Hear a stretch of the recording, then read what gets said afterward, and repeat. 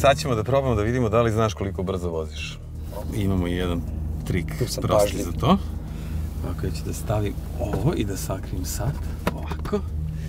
Znaš, kad ne znaš koliko brzo voziš, ne možeš da proceniš koliko ti treba da se zaustaviš. To je osnovni problem. Aha. Pazi ovde, pazi, pazi, pazi, pazi, pazi. Vidiš? Aha. Za malo, a? Dobro je.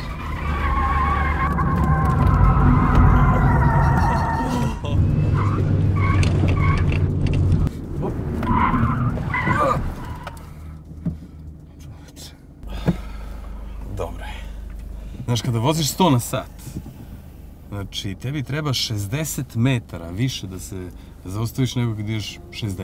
S obzirom da mi je bila pokrivena tabla, negde shvatila sam da gubim kontrolu, shvatila sam koliko je strašno nemati je i da uopšte nisam svesna koliko automobilu zapravo treba da se zaustavi. Najviše me iznenadila sama, sama ovaj, procena brzine koju nisam dobro procenio. Samim tim nisam ni krivinu dobro savio i moglo je doći do, do izletanja sa staze. Obično čovjek ni ne, ni ne obraća pažnju na taj brzinomer, ali u kritičnim situacijama zaista znači.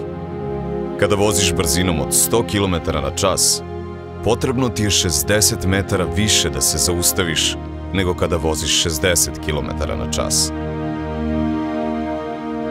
Uspori. Um na drum.